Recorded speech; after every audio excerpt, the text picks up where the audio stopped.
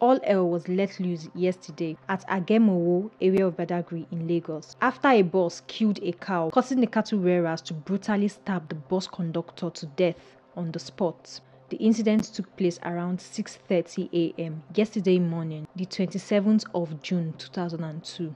The incident happened exactly along Lagos Badagry Expressway. The commercial bus, which was on high speed, was said to be coming from Mile 2 when all of a sudden two cows strayed onto the expressway, causing the bus to ram into them, killing one of the cows, and also causing some damages to the bus itself. As soon as this accident occurred, the headers at the Agbomalu charged at the driver holding him down, insisting he would pay the sum of 500,000 naira for the dead cow. The driver refused, claiming that the accident was not his fault. Other motorists supported the bus driver, and this led to heated arguments between the motorists and the headers. It soon degenerated into a fight. And as usual with these kinds of situation, more herdsmen joined and they soon charged towards the bus driver. It was said that the bus driver and the conductor somehow managed to escape. The angry headers caught up with a man who they mistook to be the bus conductor. It was said they beat him till he became unconscious and thinking he was dead,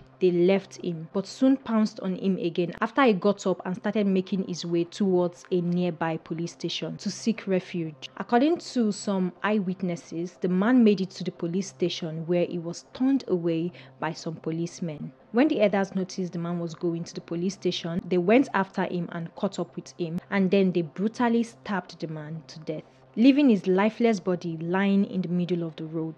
Eyewitnesses lamented that the 30 year old man, who has been identified as Ahmed aka Omoga, who the headers mistook as the bus conductor, was beaten to death in the full glare of some security men, including policemen who were on duty around the scene of the incident, and a crowd of onlookers who probably did not attempt to save the man due to fear of being attacked themselves. And to top it all off, it was said that a police station was also located few minutes from where the incident took place. The man was screaming for help, but nobody came to his rescue. If they had helped the man, he might have survived, but everyone watched till he was killed. The incident created an instant reaction from residents and motorists in that area who started protesting. It was said they blocked the expressway, threatening to avenge the death of the man. It was said that the angry mob apprehended two yet to be identified Fulani herdsmen who are believed to have spearheaded the entire attack. They were handed over to the police who arrested them. It was said that normalcy was soon restored in that area by the police, and the police have come out to deny the claim that the man was turned away when he went to the police station to seek refuge. They claim he did not make it off the accident scene, let alone reach the station. What do you guys think about this horrible incident? Leave me your thoughts in the comment section below.